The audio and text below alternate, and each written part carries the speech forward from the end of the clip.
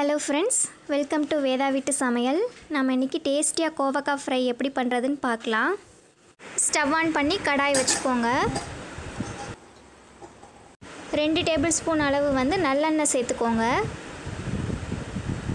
எண்ணெய் காஞ்சதும் கோவக்காயும் வெங்காயத்தையும் நம்ம ஆட் பண்ணிக்கலாம். கால் கிலோ கோவக்காய் பொடிஸ் பொடிசாக நறுக்கி ஆட் பண்ணிக்கோங்க. பெரிய சைஸ் பெரிய வெங்காயம் ஒன்று இதையும் பொடிசாக நறுக்கி ஆட் பண்ணிக்கோங்க.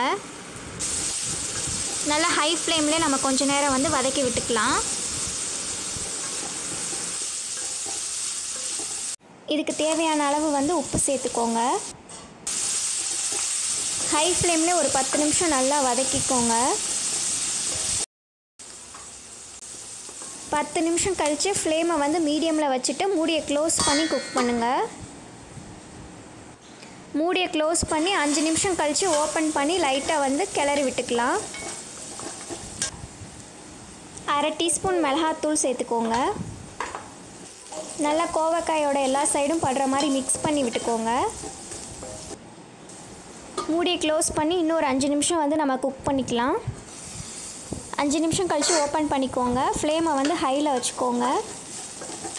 ஹை ஃப்ளேமில் ஒரு மூணு நிமிஷம் வந்து நம்ம நல்லா ஃப்ரை பண்ணிக்கலாம். கோவக்காய் ஃப்ரை ரெடி ஃப்ளேம் ஆஃப் பண்ணிடுங்க இந்த ரெசிபியை ட்ரை பண்ணி பார்த்துட்டு உங்கள் ஃபீட்பேக்கை கமெண்ட் பண்ணுங்கள் இந்த ரெசிபி பிடிச்சிருந்ததுன்னா இந்த வீடியோக்கு ஒரு லைக் கொடுங்க.